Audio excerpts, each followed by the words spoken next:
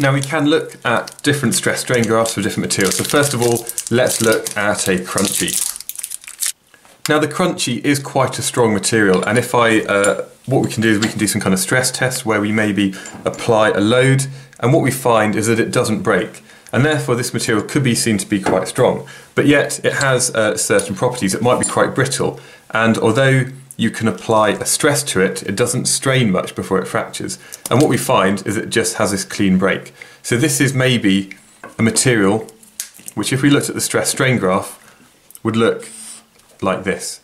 And what we find is that there's not much uh, movement before it breaks and it has a very high ultimate tensile strength, which is uh, this kind of value up here, but yet it doesn't move much before it fractures. So this one here might be our Crunchie. Next up, we have a Mars bar. So the Mars bar might not be as strong as a Crunchie, but what we find is if we apply load to it, I'm just going to apply a force in the middle, is that it doesn't just fracture. What it tends to do is it tends to have this kind of region here where it's not uh, quite elastic anymore, it doesn't go back to the original shape. We have a region of plastic deformation, and as I move it, it's going to take a while before it actually breaks. And if we were to draw uh, maybe the graph of a Mars bar, it might look a bit like this. So maybe this is our stress strain graph for a Mars bar.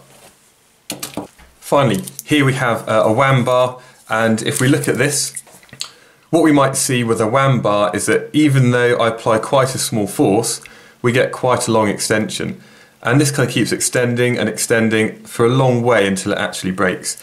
Uh, and again, if I draw this on the graph, we might get something that looks like this. So this is going to be my Wham.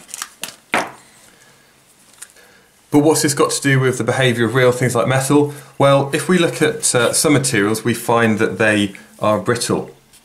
So that's what we can maybe think of as our Crunchie. It doesn't just bend, it kind of snaps. Now, most materials that, like most metal that we see in everyday life, are a bit more like a Mars bar. So things like aluminium, steel, copper. And what we have is a ductile metal.